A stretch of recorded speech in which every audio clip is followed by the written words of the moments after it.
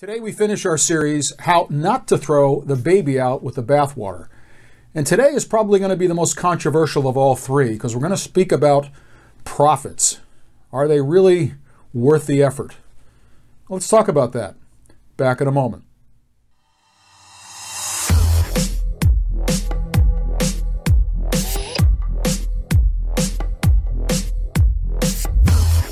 Welcome to Minister's Toolbox, providing leaders with the tools they need to succeed in ministry.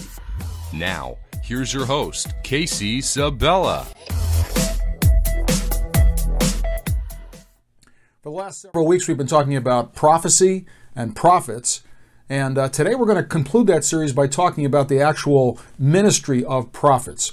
If you missed any of the former episodes, I would suggest you go back and listen to them because today really kind of builds on those. So starting here is not a good idea.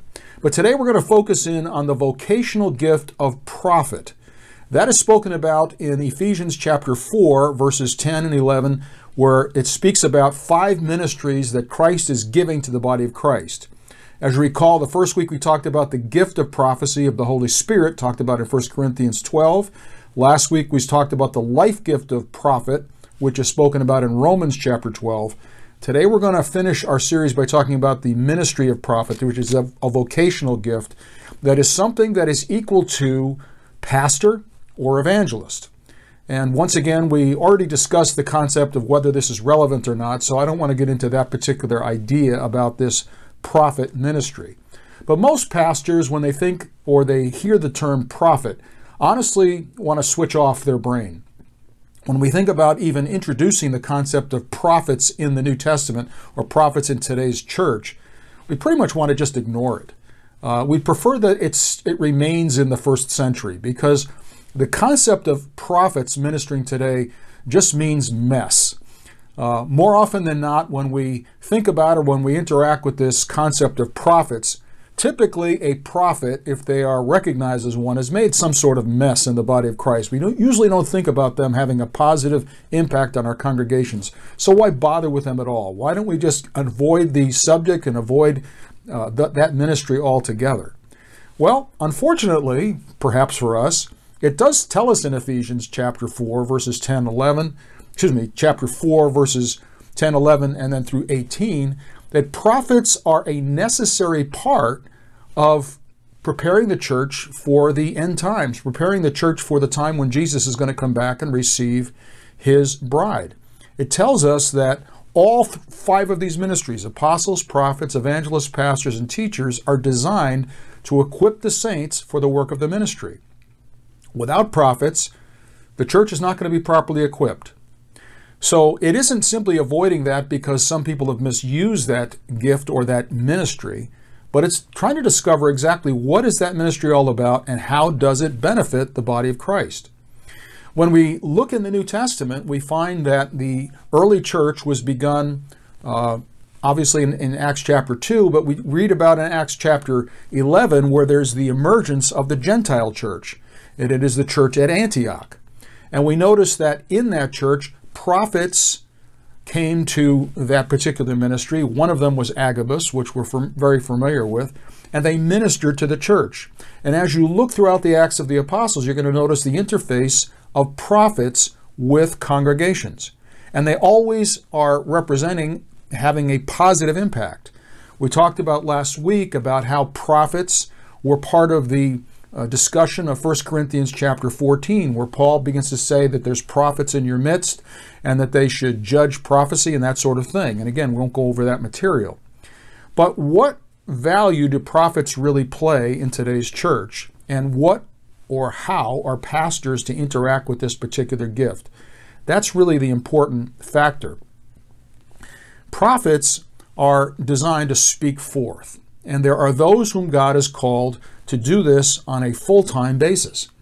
Now, they're really not recognized much in today's church, and unfortunately, the ones that are recognized, more often than not, are not bringing much of a benefit. Uh, as we've mentioned over these last few weeks and over the last election cycle, we had many who were purporting to be prophets saying that President Trump was going to go two terms and that he was going to have two consecutive terms, that on uh, January 20th he would be the president no matter what everybody was saying. And of course, we've seen that those particular prophecies did not come to pass. So rather than giving us a positive view of prophetic ministry, most of us just wanted to be have nothing to do with it. They brought us uh, shame, if the, if for lack of a better term.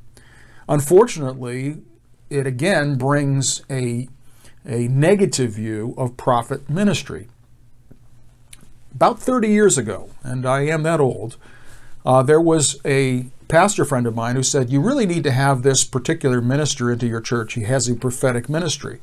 And I have to tell you that over the phone, when he said that, I just said, Well, to be frank with you, I don't really want a prophetic minister in my church because even back then, there were a lot of people who were coming in the name of the Lord and they were speaking prophecies and saying things that were really not beneficial. And more often than not, I ended up having to clean up the mess after they were done. And again, I know many of you pastors and church leaders can relate to that. So when he said, I'd like to ask you to, to consider having him come to your church, I said, Well, based on your reputation with me, we've been friends for many years.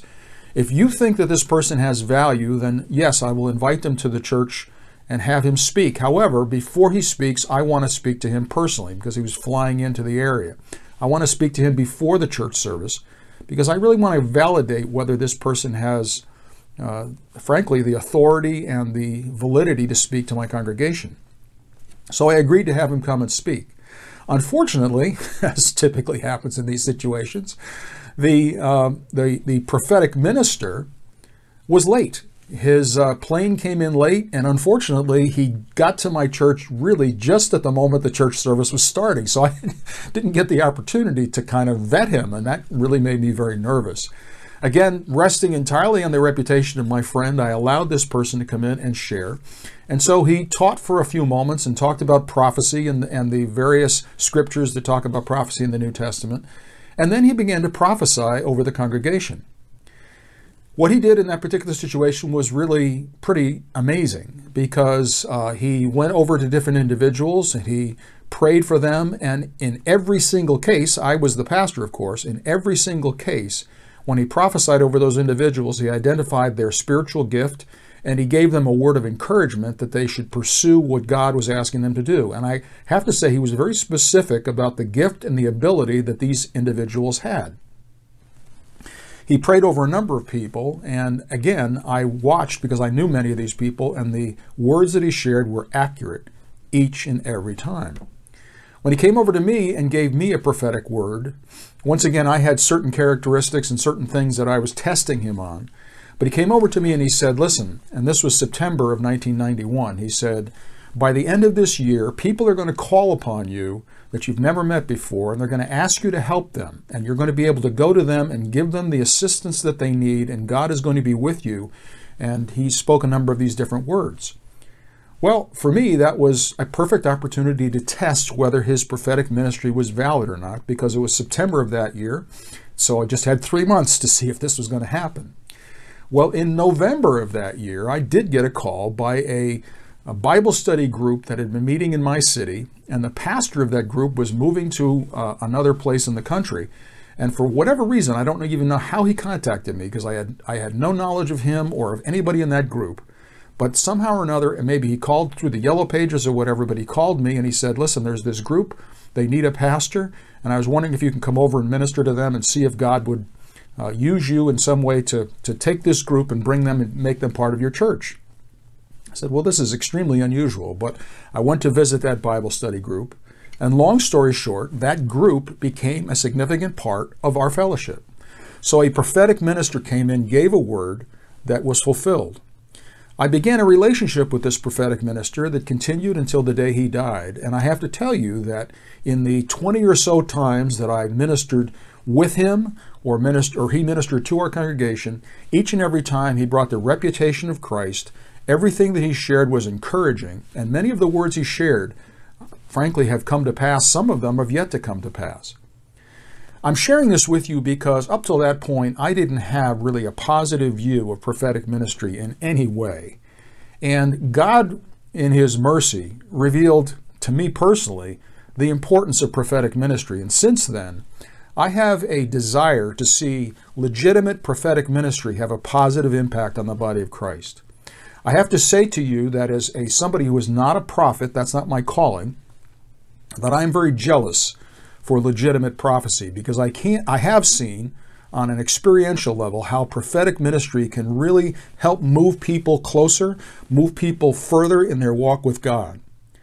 Again, prophetic ministry is not designed to be some kind of freak show. It's not designed to uh, predict the future so people can make investments in the stock market or any of these other foolish ideas about prophetic ministry. But it is designed to do the three things we've been talking about to comfort, encourage, and exhort, to give people encouragement for the direction of the future, that God has things in their future that are going to be helpful. We know in reading the New Testament about Agabus that he was someone who spoke a word and he had such a sterling reputation that when he said there was a famine coming coming to the church that the entire church of the world at that time prepared for that famine because his words were accurate. He had a reputation for accuracy. And this is the nature of the prophet ministry. They have developed a reputation over time. They don't just spring up out of nowhere and are prophets, but they go through that sequence we've been talking about. They begin to function in the gift of prophecy, as we talked about in the first session. They become people who operate regularly in that gift of prophecy and develop accuracy through the life gift of prophecy. And then finally, they come to a point where they are accurate. Can they make mistakes? Yes, but generally speaking, they simply don't because they, their words become more and more uh, accountable and it is important that those prophetic ministries are, have reached a point where they know the voice of the Lord and they only speak when God is speaking. Legitimate prophetic ministry are those people who know when to speak and when not to speak.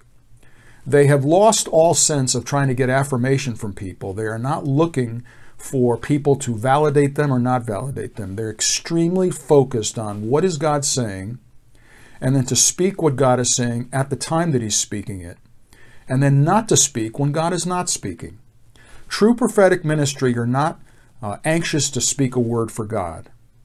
They are anxious to only speak when God is speaking. They have matured to a level where they understand that that gift is God's and it's in His hands. And they are not going to speak when God is not speaking. They will speak when God is speaking. They only say what God is saying and no more. I've used the analogy of the mail person or the mailman. Let me let me just use that gender term, even though our male person is female. I think mailman is just easier for me to use. Um, the mailman analogy is so, uh, I think, perfect for prophetic ministry. And uh, as I've shared, but perhaps want to just uh, uh, go a little deeper today, prophetic ministry is really like a mailman. It is someone that comes to your house and delivers a letter. The letter is not from them, it's from someone else, it's for you. Maybe they deliver a, a, letter or they deliver a package. The design of a mailman is to come to your house and make sure that you get the package in the exact condition that it was sent. So if the person brings that to you and the package is all broken and is all ruined, well, they haven't done their job as a mailman. Now, it probably isn't their fault. It happened back at the office. But for the purposes of understanding here. The mail person is responsible that the, the package is delivered in the condition that it was originally sent. A prophetic minister is a mailman. It is someone who delivers that package precisely as it was given to them. They deliver it to the person that it was intended for, and that is their function. They are not there to make sure that that package is opened or that it is received properly, or whatever happens to that package after it's given to the person is none of their business. True prophets are not interested and not in any way focused on making sure that the words they speak come to pass. And where prophetic ministry has gotten into trouble, and I've seen this experientially, unfortunately, is they'll take a word, maybe God gives them a legitimate word for someone, but then they get involved in that person's life and they try to give them advice on how to and how and what to do with that word. Not their business. I had a prophetic minister a number of years ago, and it's a sad note, quite frankly, that God really used in a special way for a number of months in our church. And unfortunately, they became very prideful. They began to think that because they were being used prophetically, that somehow God was casting favor on them different than everybody else. And that's always one of the great weaknesses of prophetic ministry. People can begin to think that they're more important than other people. That's a real downfall.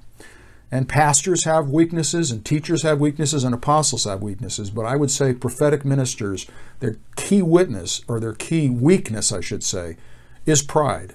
That's why they re- need to remain humble.